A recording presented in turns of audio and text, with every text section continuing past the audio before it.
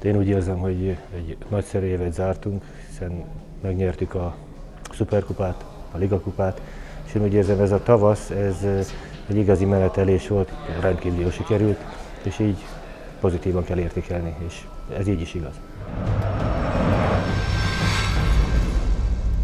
Hogyan fog telni a szünidő?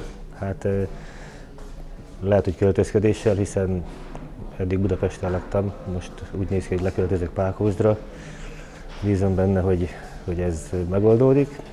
És hát a másik, ami öcsémmel, Lacival egy ilyen nagy vágyunk volt már régóta, hogy édesanyánkat Fehérvárra költöztessük, én nagyon bízom benne, hogy ez a szünet alatt ez is megtörténik. Lesz a labdarúgó EB is, mérkőzések így a költözködés ideje alatt azért megtekinthetőek lesznek, vagy majd Hát ez egyértelmű, hogy ez természetes, hogy a futball nélkül ezt nem lehet csinálni, és főleg egy ilyen rangos eseményt ezt végignéz az ember. Aki engem ismer, az nagyon jó tudja, hogy a szívem az a németeké, és én bízom benne, hogy, hogy előkelő helyen is fognak szerepelni. Mit vársz a csapattól a júliusban kezdődő Európa Liga selejtezőtől?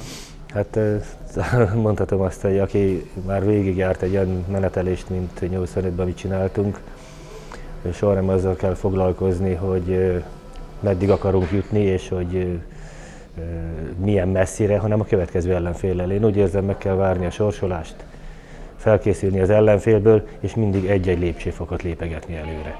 És akkor talán messze jutunk.